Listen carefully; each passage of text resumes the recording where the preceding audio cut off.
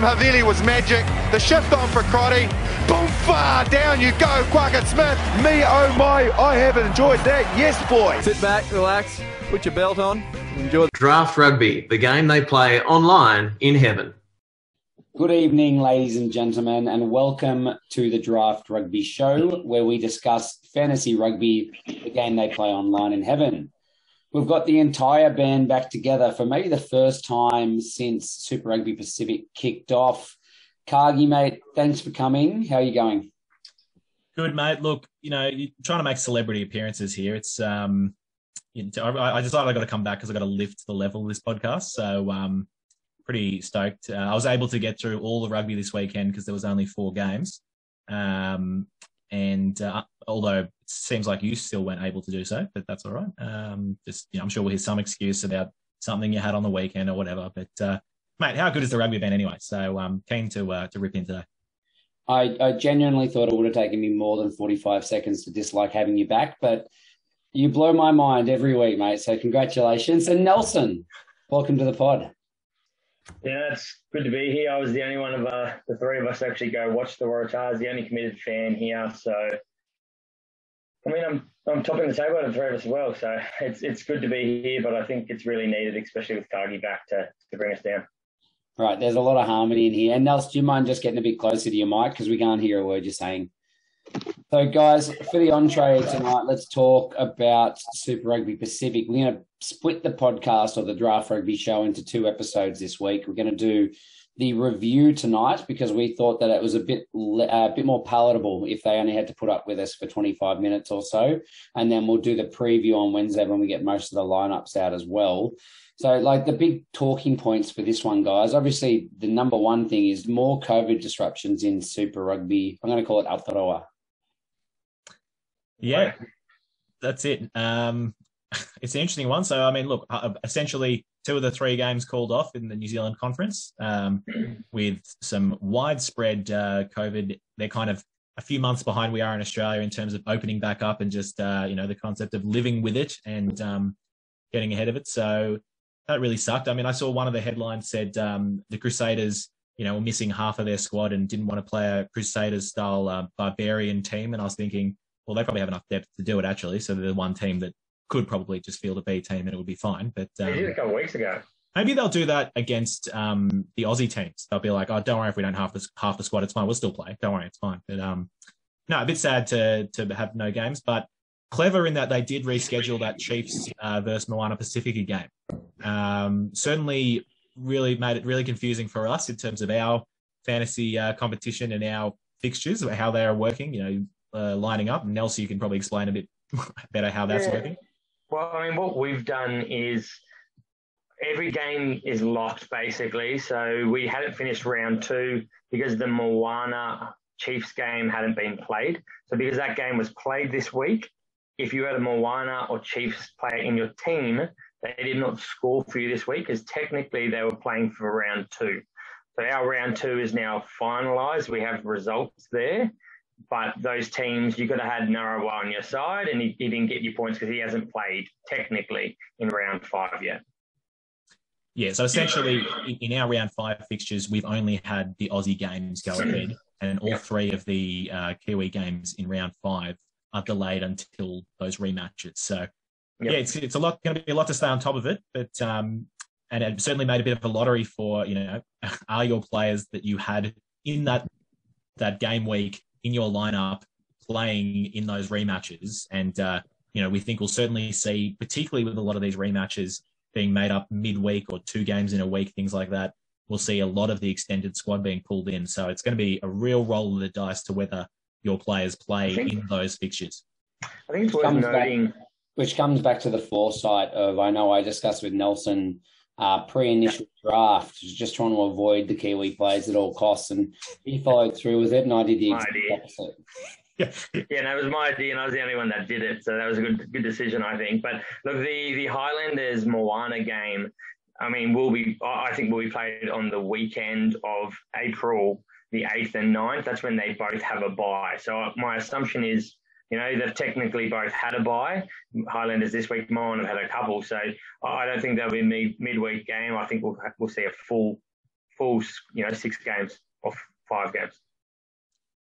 Yeah, exactly, and and obviously they've expressed like they don't want to they don't want to cancel any games because obviously that ruins the whole competition on the table, and they don't want to extend the season on. So they've, they've that's very important in that these extra made up games must be made up during the course of the season dates as it stands. So, um, yeah, think, basic, basically got to really just stay on top of of the fixtures. So, I, I think I speak for all Aussie fans when I say I hope the Kiwis play all their midweek fixtures between playing us.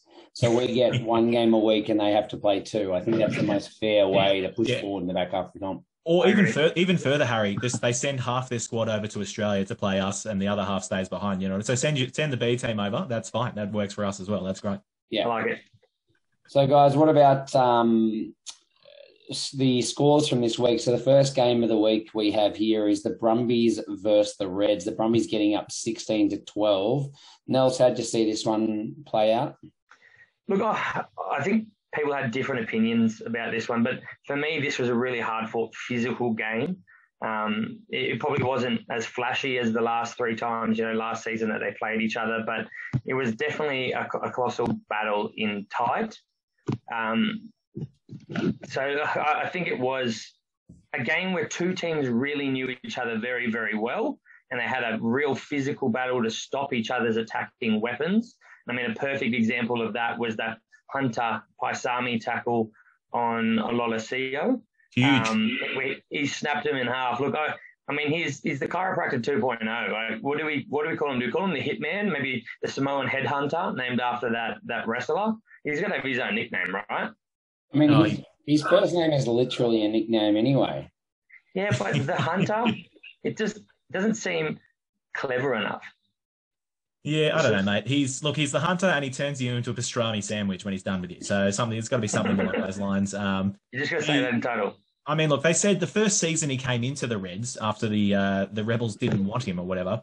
Uh, you That's asked right. anyone, in, you asked anyone in the team, and they said he was definitely the hardest hitter in training. You know what I mean? Like, just, oh, I love that he can do it all. But um, I was just Harry and I were having a good froth session just before we jumped on for the pod about Hunter, and um, just saying, look, when he's playing like that, he's my, probably my favorite player to watch in in Australia. You know, and that's that's a huge call. I mean, because Tongan Thor is in this game as well.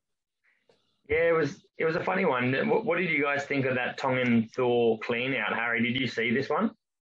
No, I, I genuinely didn't see the uh, this one there, so I'm probably the worst one to answer. Cargie, what's what was your opinion on that clean out? Look, I, for me, it wasn't. It was it was a clear out, very very close to being a perfect clear out with um, uh, Brown lent over. Was it Brown? Um, yeah, lent Yeah. over the the ruck. What? Did, how did you see this one going?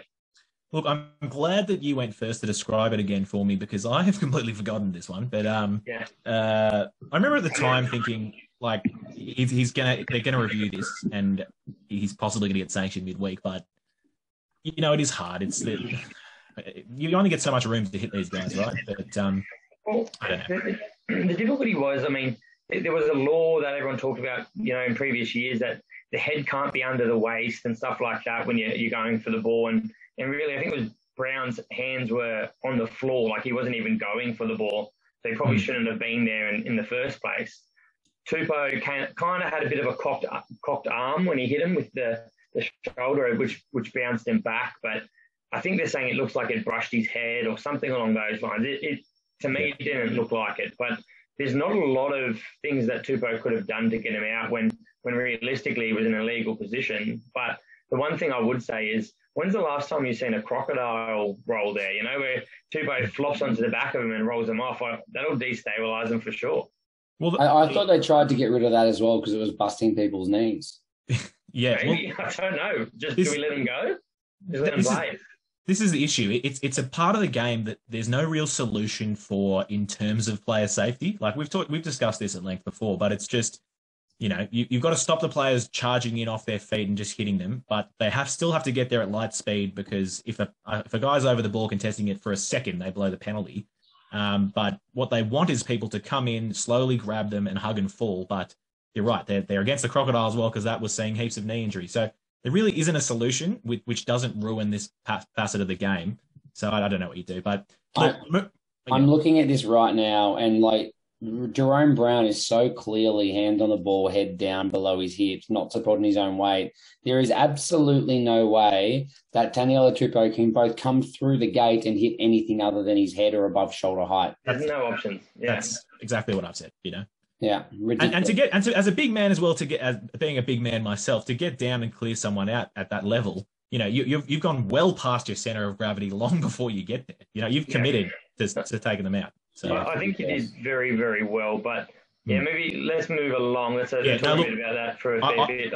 I, I, wanted to say just Nelson, you mentioned mentioned a colossal battle this game, and yeah. what a colossal battle in the set piece. This was one for particularly the scrum fans. So I was absolutely loving this, and momentum kept swinging both ways. You know, it was all the the Reds were up and uh, were winning a few scrums. Then it was back on the Brumbies, and that was just for me. That was what made the match. Really, it was you know an all Wallaby front row for the Brumbies versus Taniela Tupou. Really, that was um, you know, no, no discredit to uh, to Nasser and uh, was it well it was Xander as well, but um, oh, so epic those scrums. It was really good. What did you guys think? Oh look, I, this this was a great game. In, if you liked the Wallaby matchups, for me the the Wallaby matchup that I was most keen to see was definitely Petaia versus Banks.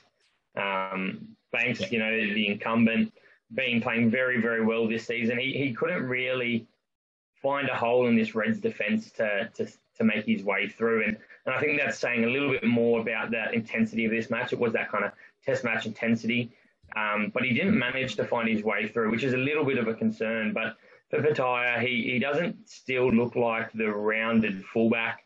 He's still trying to find his way into maybe some positioning and a few things like that. But right now, just the elite athlete he is, is doing enough to get his name in that conversation. Absolutely, and it's exciting. It's exciting to see him, you know, just have that bit of extra time and space. Um, yeah, yeah, you know, on the wing, on the wing, you only it, it's rare that you get a lot of space, um, but here he's getting he's getting to choose where to inject himself, which is what's exciting, I think. So, yep. and very very interesting now that Jock Campbell's also in the Wallaby squad and has been named as you know his best position being a 15. So there's some real depth there for the Reds. Mm.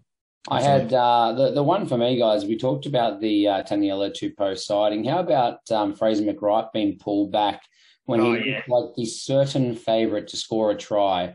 And I think because he got pulled back, the ball kind of beat him at an awkward time into the post. Yeah. And it 100% cost him a try. I should say 98% cost him a try. All he had to do was pick the ball up. And they don't even look at it. Like, no yellow card, absolutely nothing. Like, how can we possibly think that this is okay when we're interfering in such rudimental stuff and letting that go? Yeah, this, this one was baffling for me. I, at the time when I saw it, I'm like, well, that's clearly getting called back. And I think the, the ref pointed it out and said something. He goes, oh, no, it was okay.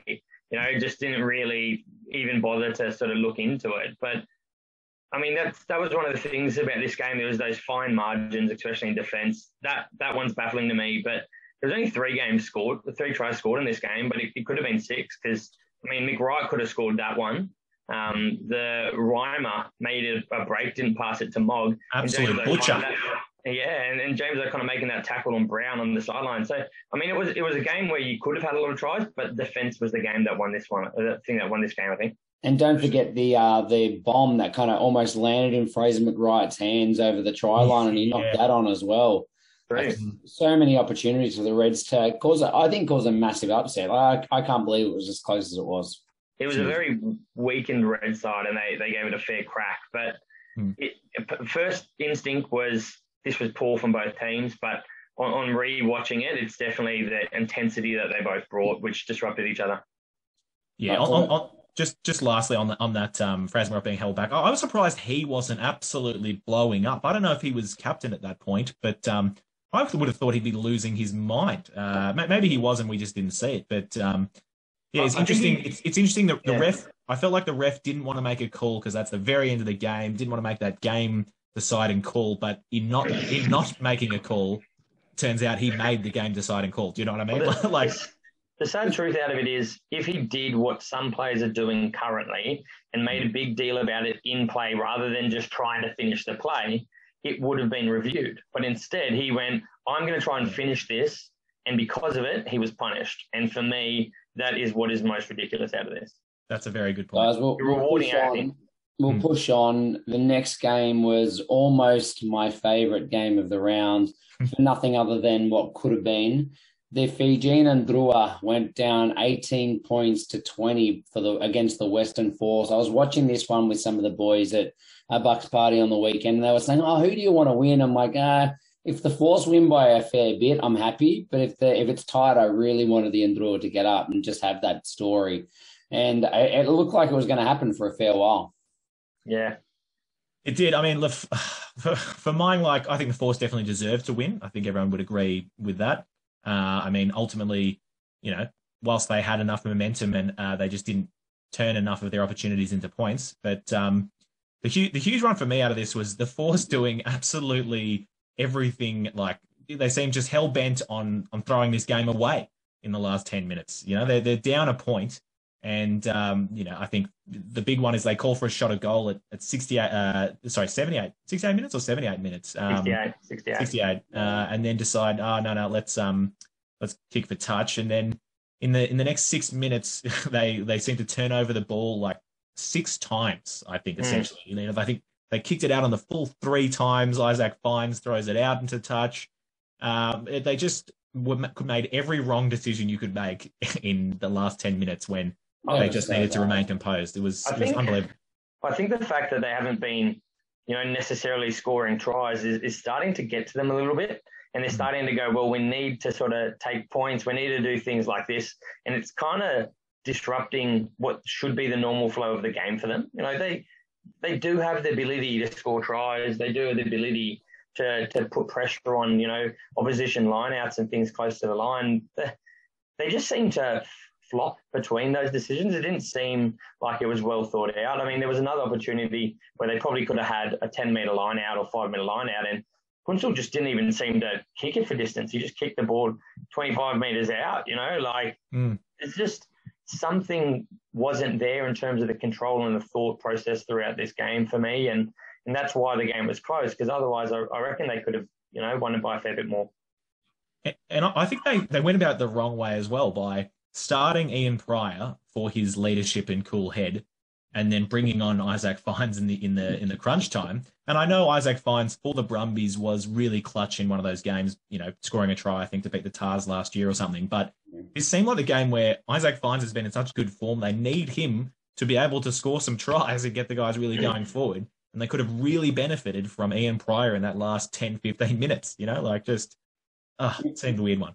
Completely, and I, and I think that's the thing, right? Isaac Fines-Leleiwasa is the guy that's going to bounce out from the back of the ruck and just cause a bit of disruption to the Fijian and Drua's defensive line, which might not be as strong as some of the other sides. Like Mm. maybe they're not quite as trusting as organised, but yeah, they they they just don't offer. It's almost like the Western Force are just waiting for Mataele to set up another try for them. You know, like They look to their Fijian. That's it. Uh, yeah, Well, there's, there's 16 players creating stuff on the field, and uh, 16 Fijians were the ones creating things on the field. That? I think um, that was the thing though. Like they, they wanted to start Prior because of his leadership and control, and in a quite a you know threatening team like Fiji, and you know not necessarily an orthodox team in terms of what the, most of these players play against. I think they thought that control of the game was what was needed, and the, the sad thing was they didn't have that control of the game. So it, it seems like a, a real missed opportunity for mine to to really take that game and, and control it early. Yeah, and look, I'll just say one, one last point about the Force before um, pretty much everything else we wanted to talk about is just how good the drill were. But um, was uh, Tim Anstee on the bench? For mine, that was an interesting decision because I thought um, he him at, at number eight has been um, you know one of the brighter sparks along with Fergus Lee Warner. Just a really good balance there with Fergus Lee giving those carries and Anstee um, just as like you know an actual offensive weapon off the back of the scrum. Uh, kind of also a bit of a you know good jackler and things like that, and and has also been really good in the lineouts. So uh, I was surprised by that. I don't know if he had a niggle or anything, but um, I think that made a big difference. I, I think it was representative of exactly what we just talked about with Ian Prior. The Force's entire selection was about having muscle composure and Mm. experience in the side rather than strike power. Like they had Thrush back in the locks. They pushed Fergus Lee Warner out to the back row, which means they had a big uh, line out. So then that way they could try and kick some corners, slow the game down, play the set piece game. Like that was clearly their tactic, but they just weren't composed enough. They make too many mistakes. And and really at this stage, I don't think their set piece is good enough to actually score them enough points. So they need to find a way to score. Um, Mate Elliott 10 is my current solution, but I'm not sure if you guys are on board with that one or have got any other ideas. Oh look, I mean, I, I want Pasitoa back at ten as well. That was another another one exactly that that you know feeds into what you were saying. I know he hasn't exactly lit it up, but I mean, he does more than Jake McIntyre does, as far as I'm concerned. I'm not gonna not gonna give Jake McIntyre any air on this podcast, but uh, you know, I've never been a particular fan. But um, you're right. I think they just need they need to score points. They need to score tries. They need to they need to be exciting like the Drua. And talking about the Drua, before we actually talk about their absolute weapons and how exciting they are, it's funny that we just talked about the Force wanting to play the set piece game, and you know everyone's been talking about the Drua getting better and better each week. And a, a large part of them getting better is they have really started to settle into some structured play. Um, un, un, you know, we know they're amazing in in the loose, um, very creative but their structures are getting really good. Their McBurn structures and their set piece is starting to get really good. Their scrums, the two props are absolutely making waves. Tawaki and Ululukepepa. Uh, um, thank you. Um, and yeah, just like we're seeing that translate into a lot more controlled ball for them and them not kind of panicking uh, around as much. So um, yeah, it's interesting that the two flip sides of this coin in this game, two narratives. Yeah, look, I think there's a lot of players that are really sort of carving out their name. I know we touched on it before the season started, saying that there's going to be a lot of household names, you know, not long into this competition. And there definitely are some very quickly off the top of my head. The first one that comes is Habosi. Um, he's 21 years old, and we all think he's probably the form win- winger in the Australian Conference, which is concerning because he's not Australian, but he's also not a Australian playing for not an Australian team. We always have good Fijian wingers, but at least we can claim them to be Aussies, kind of. But um, yeah, no, he's just effort around the the park. Cargie, you think it's Cora Boy Cora, Koroibete esque, but I'm not sure. But he's got huge huge work rate and ball in hand. Boy, he's amazing. Honestly, yeah, I just the thing that impresses me the most with him is just his growth from the first game. Yeah. Watching that first game, he made so many terrible decisions, which showed he had no understanding of how composed and how risk adverse you need to be to play at this professional level. And he seemed to have fixed it within a week or two. And now he's making so many more good decisions. Not perfect, but geez, he's grown a lot and so fast, and he's just so deadly. But you add to that the depth of uh, the the centres, Ravouvou and Vota. Like Vot, Vota's, I think, still probably the top tackle buster in the competition. Can't confirm that, but I think he is. And then how about the Ravouvou break? Just like he, he just had a look at the defence and from about 10 metres away from the line, put his foot on the gas. And the other team, like the Forces, had absolutely no chance. And I, I remember I was watching this game again in the pub and just showed it to everybody else and put on replay. I'm like, hey guys, like the, the Drua are just going to smoke all the Aussie teams in a few years. Like it's just so hmm. unfair. They're just the most outrageous athletes. I mean, we, we called it at the start. The NRC just took them a little bit of time. As soon as they start playing together, they're phenomenal. The only thing Fiji needs to be an absolute, you know, world power at rugby is some professional teams that they can play and keep their players for them. Like they are just absolutely phenomenal. You seem to pick anyone playing an okay level of rugby in Fiji, and they can just set the world of rugby alight. I reckon.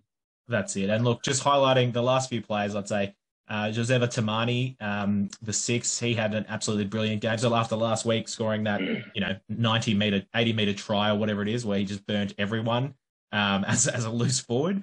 And this week, he was just into everything, and they could not stop him offloading. I mean, you know, Sonny Bill made offloading look easy. This guy maybe made it look even easier. I think, you know, the stats have him down for three offloads, but I'm pretty sure I saw four or five on that game. But um, he was brilliant. And, uh, and also, I thought Frank Lomani being introduced, the Fiji Test uh, scrum half, uh, was really good. Just bringing, just making some good decisions for the team. So I thought it was really good.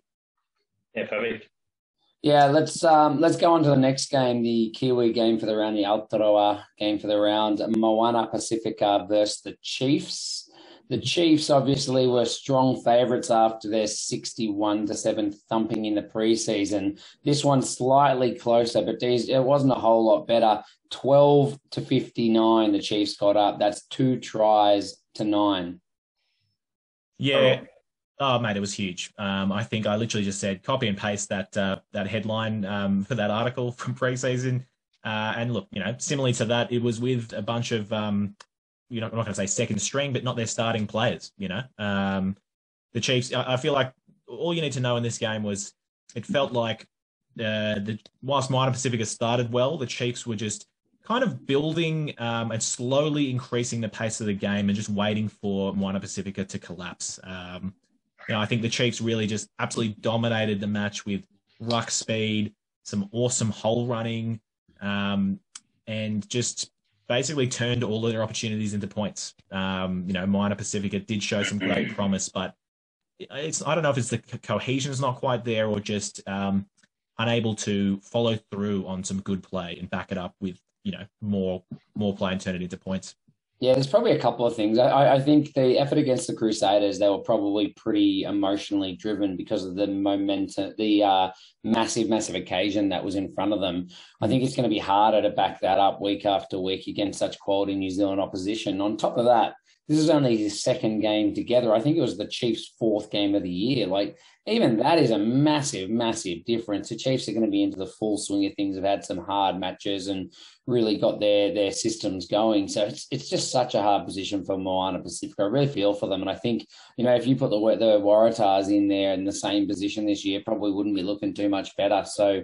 I, uh, I, I do uh, feel a little bit sorry for them. It's it's going to yeah. be a big tough challenge for them to try and come back from this. I think they just need to be, you know, given some time, to, some time to to evolve and find their feet. I mean, Fiji is a different story, and we weren't sure which one was going to come out on top, top sort of early on. And there's a lot of good players in this Moana side, but most of them have never, you know, a lot of them have never played together. You know, different coaching structures, very different level to what they a lot of them are used to. So they just need some time. They, they need to get into their structures. And I, I do think there's some, you know, some green shoots there. So I think we just need to lay off them a little bit in terms of, you know, media and things as well. Guys, yeah. if you're looking for a standout, hmm. I'm, oh no, I'm getting it wrong. I was getting excited. But how about uh, Christian Leali'ifano? Um, yeah first start back for, again in a long time. He just looks like he never ages. Well, he doesn't look like it, but he plays oh. like it massive line break, set up another one. Like he's just got all the skills, and it, it's pretty tough for McClutchie when you got someone playing that well. Well, look, I think McClutchie, like he surely had to know he was here learning off the experience of Leali'ifano. Sure, there's a chance that they could play 10, 12, but there was always a chance he was seen as the, the second runner evolving his way into being a starter for them. I know he got the, the first crack, but Leali'ifano, that that cut out right to left, you know, two over two or three people to set up that first try, um, as well as just hitting the line, making a break, a few different things. He he's just showing his level headed and experience. And it's what you want to see from Toomua at the Rebels and we're not seeing. You know what I mean? Like mm-hmm. he's finding the ability to control some of the things around him. No, they're not getting the win, but he's showing that level headedness that I think we, we should be seeing from these experienced players.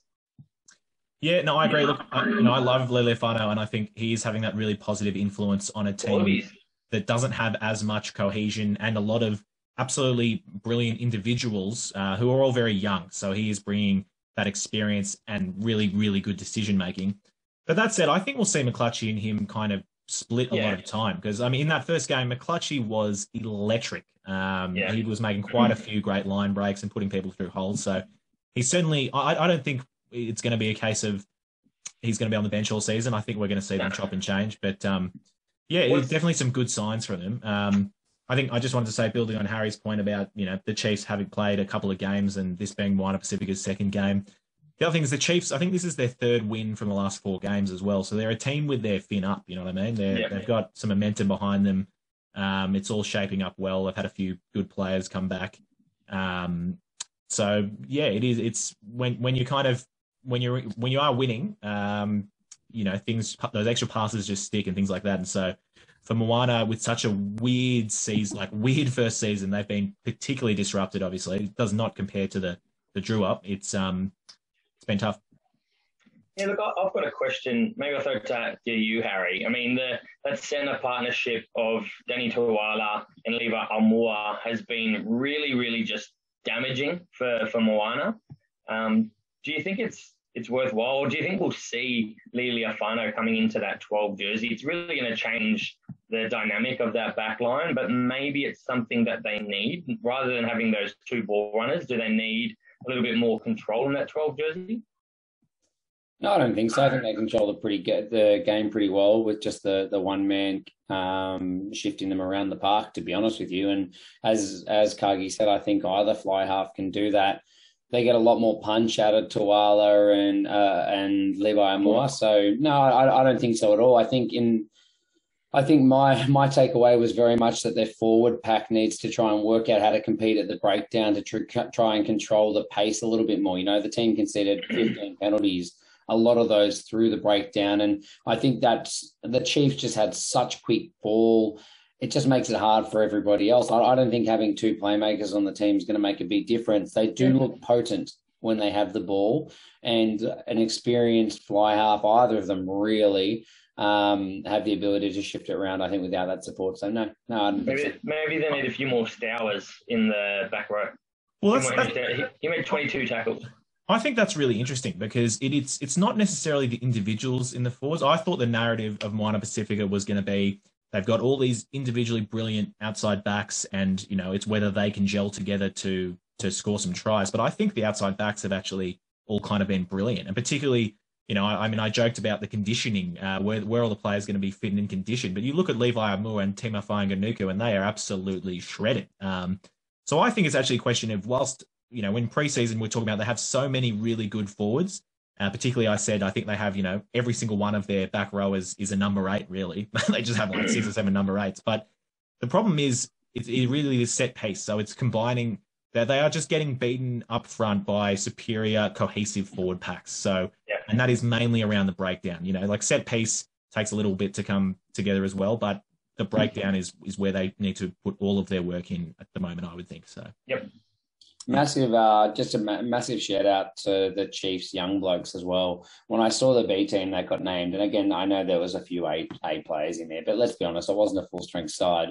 Mm. I tipped the Chiefs to win by 20. Um, they won by 47. And one of the best I thought was Hamilton Burr was awesome on debut as well. So just wanted to make sure we didn't only talk about Moana Pasifika. The Chiefs, for the young team, were very, very good. Can we can we just point out how big that man is? If he's playing the Sevens jersey, He's 195 centimeters tall.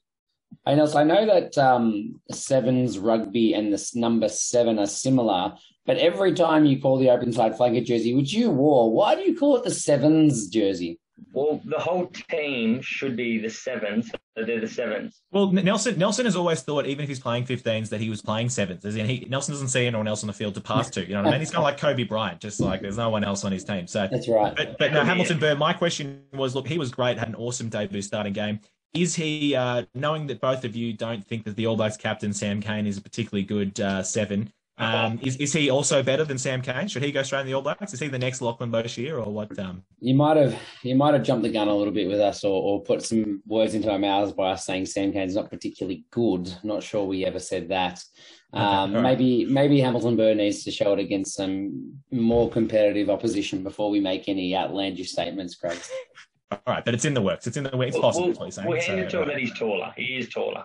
Yeah. All right. You found something else. Well done. And with that, look, let's push on. Um, you know, we can talk about Narawa for the next five days, but um, let's uh, hit a great game. But let's push on to um, the last game of the round, the Tahs and Rebels, um, which I was explaining to Harry. I sadly watched um, on the plane uh, on the way home uh, last night, kind of falling asleep. But, Don't feel um, bad, mate. I I sadly watched it at the SCG. That was that was crap. yeah, yes. Look, the, I was going to say, mate, you, you probably saw about as much of it as I did because the SCG is, whilst a fantastic stadium, it's not a great place to watch rugby. Um, really isn't. Rugby.com AU came up on Twitter saying I how it is to be back at the SCG. I just replied, it is not. no, no one likes that stadium, Jam. I, I want to point out the highlight for that game for me was Joseph Suaalii is sitting behind me, and I was just started talking nonsense to them because they were calling for Teddy Wilson to get on, and I was just trying to gauge, you know, his interest in rugby. That guy, he doesn't know about rugby. I said to him that, you know, he goes, "Well, why wouldn't they put him on?" I'm like, "Well, like obviously." They, if they're putting him on, the game's going to be very, very tight. They don't want to lose the game with the inexperienced player. They go, well, they just sub him back off. It's like you can't sub a benchy player on and off. And he's just like, can't you? Like he just didn't know that was a thing. So Yeah. He's, He's uh, But you can't you can, you can't do that in league either, though, right? yeah, you can. Yeah. Yeah, they've got a they've got a small bench. You Okay, can sub them on and off. There's a Shows how much I certain know about league. There you go. Yeah, it's Yeah, official. there's a Suaalii knows as much about Union as Cargie does league. It's, So, guys, talking about the But game. still, though, I'll- still, we'll take Suaalii though. Just to be clear, uh, we'll still We take will. him. at. We Just want to be, will. just want to be 100 percent on that. Yeah. the game, the Waratahs up against the Rebels, twenty-four to nineteen. There was a few good moments. I thought the one that stood out for me was for Ketty's run. They ran it off the. Uh, was- was it a scrum?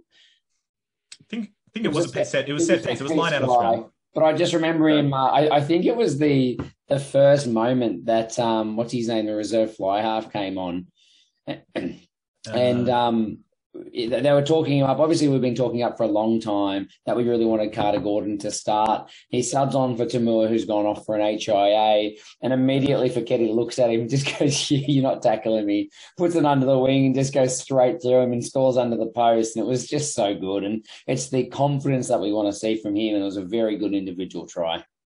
It was. It's good.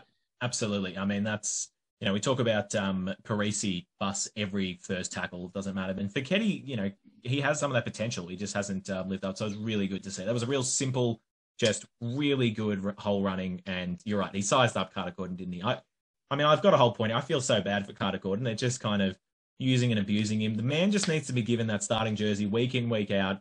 And um, he shows some really promising signs. But if you keep, you know, putting him on the bench, kind of you know, taking him off, he does something bad, whatever. Like he had an absolute Barry Crocker of a game by all accounts. Uh, that one, he just nothing came off for him, and you know, Yeah. one or two, one or two more weeks of this, and he's, you know, he'll he'll leave overseas, or he just he'll be No, ruined I- forever.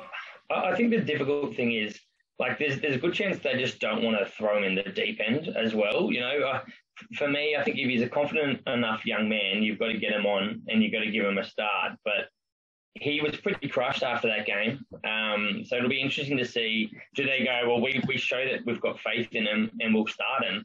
Or are they worried that things Well- might compound and it's going to get worse and worse? You know what The I problem, mean? the, Like, the problem is it's much harder to now after that to start him next week. But Yeah. if they had just kept starting, I mean, he, there's there's been times when he's looked really good. He throws a ripper ball out in front of some people. He's a big unit and he's not afraid to run either.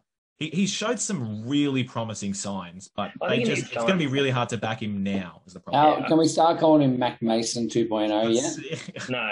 it, How do, how do we butcher this guy's career more? mate, that's that's probably what we're doing. If look, if we if we give him the sentence of death here on the Draft Rugby Show, um, I mean Oh, that's that's going to get picked up by all the mainstream media, and it'll be that'll be it. So we can't do that, mate. We want to see Carter Gordon starting, Matty To'omua supporting role in at He's 21, boys. He's 21. Like, let's just let's just call the Jets a little bit on him and, and hopefully see them utilize him in a, in a good way. But it, it needs to be at a minute. Speaking of Carter Gordon, how about that kick? Kicked to like 70 meters. Yeah, Uh, it was like 60, but it was big. mate. Oh, 80. Could have been 90. I, I watched it. It was 60. I went- I went back and watched it again. I want to watch a forcing for, forcings back. Yeah, and, and the commentators go, he doesn't have it normally have a very big kick, but uh, I, I want to watch a game of forcings back between him and Hodgie because um, I think he's got a they're both boot. They're both big Yeah. units, and yeah, they absolutely give it a good root. So um, Yeah. Carlo Tizzano, guys, just to change topic, I thought he was awesome off the bench. It was good to see him showing some of the form that we saw last year. He's just a beast. He's just he- he's got so much aggression, and I think he's just got to be controlling that aggression in in a little way. I don't think he you know necessarily got himself in any bad positions here, but in, in 43 minutes he made 15 tackles, was very very physical, couple carries with tackle bust and a line break. He's got all the attributes. But he's just very much a young bull running at a red flag at the moment, and, and the more Can he channels we- it, probably better. Do we call him the Perese of the forward pack? Is that what we're prepared to give him that title? You know, 110% angriest man in the forwards. Um, Oh, we've got. Swinton. Don't forget about Swinton. Yeah, no, Swinton, but Swinton's like the hit man. I don't think he's as angry as Tizzano. Tizzano is just angry when he gets on there. You know, like it's like they've they've given him the All, all, sense. I, of- all I know is our team is slowly becoming really angry, and I actually love it. Holloway is up there too. So Mate, speaking of Holloway, um, how good has he been? Um, as I think, particularly given that leadership role, he's really that's really helped him step up as well. Um, you know, he's playing 80 week in, week out, and he's finally becoming the player that we've known and really wanted him to become. You know, just um, I remember saying, I think I don't know if I said on the pod, but I said after the first game uh, or the first Waratahs win in the change room afterwards, all the, the boys with their shirts off singing the song. And I was surprised to see. I was I thought Jed was looking good, but I was surprised to see, mate, absolute six pack. The man shredded. He's in the fittest uh, form he's ever been. So he has just been absolutely awesome, um, and he's getting into absolutely everything. So he's been great. Absolutely, and and just the way he- he's been so successful at holding players up in contact is awesome. Yeah. He's getting so many turnovers from that. it, it's Guys, what a about- mindset for him? Like he's just wanting to physically dominate people and take this chance because he, you reckon he had unfinished business when he left, and it's it's perfect. But it's sad it's taken this long, but awesome to see. Guys, I'm sure we're going to get our answer on Wednesday. But speaking of the fly halves for the Tahs, obviously Donaldson went down with a calf tear. Uh, I think he said it, he felt a ping in his calf. But who knows yet if it's a one or two week injury or if it's going to be a little bit longer than that. But it didn't look horrendous, to be fair. Um, Will Harrison, obviously very good at 15, uh, was pretty good at 10, I thought as well, but probably didn't get quite the attacking opportunity that we would have liked to see from him. Do you Hmm. think Tane Edmed get get Edmed gets the 10 and they just leave Harrison at 15, considering that it's working and they keep that dual playmaker role? Or do we get to see something different, like uh, an excuse to bring in Ram or Nawaqanitawase? I forgot that Tane Edmed existed until you just brought up his name. So I had already, I had, I had thought 100% Harrow's in at 10. But as soon as you say that, no, look, I think that's probably the go. Uh, Edmed in at um, at 10 and Harrison at 15. And look, whilst desc- Harrison has described explicitly that he wants to be a 10, um, and that's where he sees his role. Mate, he's he's looked bloody good at 15. You can see why Coleman's been picking him there. I mean, apart from his great synergies, him and Ben Donaldson, who are really good mates and have played loads of footy together. Um, he just does look bloody good there. Uh, and yeah, yeah, you I. I hope they persist with him at 15. I, think- I think Donaldson and him uh, are yin and yang, and, and they're very different style players, but both really good distributors. And that extra time that Harrison's been having from the back is doing him wonders, and, and I hope we persist with it. If we think he is, you know, a, a potential short, you know, more than short term answer at 15, mid to long term answer, then he needs to be left there. I think. Um, Edmed, I think, is a really, really good player. I've Got a really, really good boot on him as well. He needs to be given that opportunity. If Ram had been playing, you know, the last few weeks and getting decent minutes, it wouldn't have been, you know, as ridiculous to think we rush him in. But we haven't even seen him this year, so to rush him in there is not exciting for me. And bring him onto the bench, and I, I don't want to see Newsom there. So let's just leave Harrison there. Well, that's the other point, right? Like it's anyone but Newsom playing 15. But, no, I'm, I mean, Ed- Edmed, um, sorry, I just want to say I did think Edmed's really good, but what I would probably like to see is I would like to see Harrow at 10, Edmed on the bench, and I'd actually want to see the guy who we forgot about. He came off the bench this week, Marky Wanganita I want to see him at 15. Get him on the field, mate. the worst game ever for him against an Aussie team probably is against the Reds because he's going to have to defend, and that's that's not what we want to see. Yeah, true, but I mean, look, whilst Will Harrison, well, no, actually, I was going to say, Will, whilst Will Harrison is a good defender, yeah, he's he is actually a really good defender. so- Marky's going to be rock solid under the high ball, though. He's a big unit with a high a high jump as well. So I don't know. We, we want him to be put under the under the pump in defence. To be honest, I want to see him come good. I want to I see mean, look, I think, harden I up think and- what we what we can all agree on is Right. let's can we get Newsom off the field and please put Ram or Nawangani Dawase in the eleven or fifteen jersey, or both. uh, and then Take out the rest. both But off. Take take Peach off as well. Sorry, Peach. And, I and like them Peach. both on. I think No, I do good. too. But put Ram and Wanganita on. All right, and look, just in rounding out this game, I just wanted to say, um, with a clear piece of strategy here, the Rebels have gone back to the, the absolute approach of any time points are on offer, they are taking them. So they took, they kicked four penalty goals, which is what kept them in the game. Despite, you know, I think there was certainly times they really had some momentum, and they going for touch or a scrum would have been a much better option. You know, let the boys play. Um, but They did also miss another two penalty goals, and with those six points, would have won this game. But um, like, You hear I well. don't, I don't want to say I don't want to say it's just boring, but like it is boring. Just taking the taking the kick every time you get the chance. Did you hear Michael Wells in the post match presser? No, I did not. What did he say? He basically said, "Oh, look, where you know, I thought it was a massive step in the right direction. We've decided that we need to grind. If we're going to be a team that grinds people out and hangs in the game, then we've got to take those opportunities." So essentially, he said that they've changed focus, and that's what they're going to do. They're just trying to defend hard, play field position, and kick their points. They're not going to throw the ball around anymore. That's too unsuccessful. They're not ready. We Yeah. said a few All, all that says to me is we, we don't we don't back our backs to score tries. That's all that says to They, me. they, they listened to the pod last Yeah, week. t- to be fair, Paul- Cargie, that's exactly what Harry and I said a couple of weeks ago. They need to do use Yeah. the boot. They know they're going to score tries, and they did it, and they almost beat the Tahs.